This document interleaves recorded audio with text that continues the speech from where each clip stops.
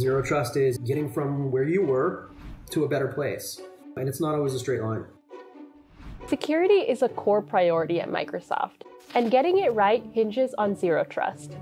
Under this model, we assume that any access to a Microsoft corporate resource could be a potential security threat. This is why we manage and grant access based on the continual verification of identities, devices, and services.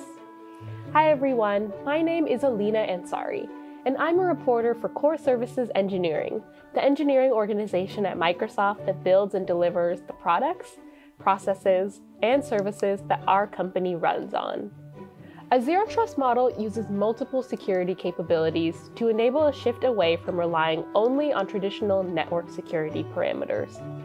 In addition, by embracing the internet as the primary method for accessing applications and reducing dependencies on internal or corporate based applications and services, the team has been able to accelerate deployment of zero trust networking during COVID 19. With most of Microsoft employee global base working from home and at least partly relying on access to the corporate network, it was more important than ever to move our workload off the internal network that the company has relied on so heavily over the years. Doing so was the only way to secure our remote workforce.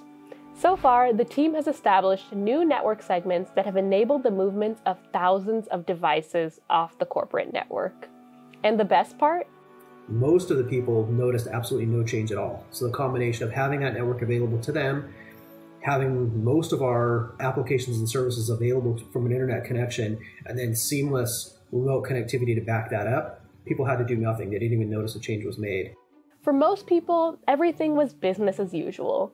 Because Microsoft buildings were largely empty, the networking team could move thousands of facility devices like phones, printers, and conference room technology from one segment of the network to another, without requiring teams or employees to be physically on site to make these changes.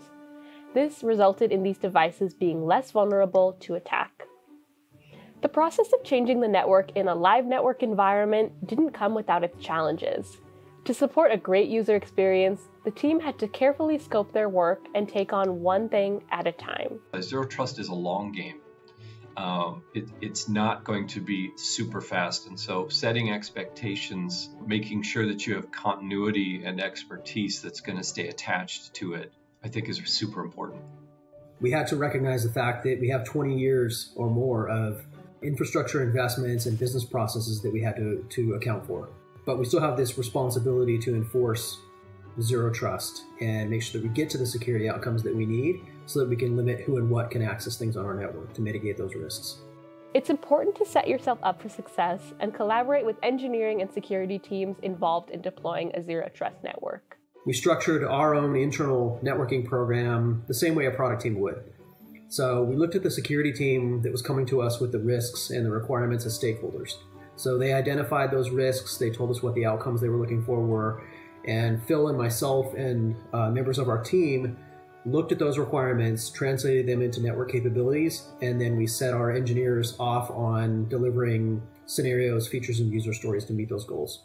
Zero Trust networking at Microsoft has been a journey, but certainly an enjoyable one.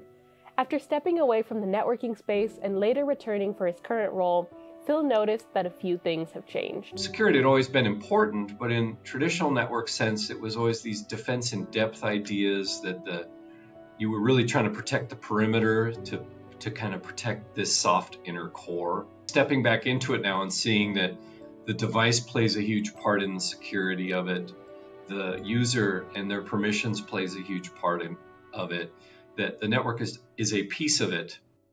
Our Zero Trust networking team is proud of all the gains in efficiency and remote employee productivity and believes that this is only the beginning for Microsoft and the entire security sector. We are in areas where we're doing things that other people haven't done. So, you know, move forward, assess what you've done. If you figure out you've made a mistake or you can do something better, adjust and then move forward again. Zero trust is, you know, getting from where you were to a better place.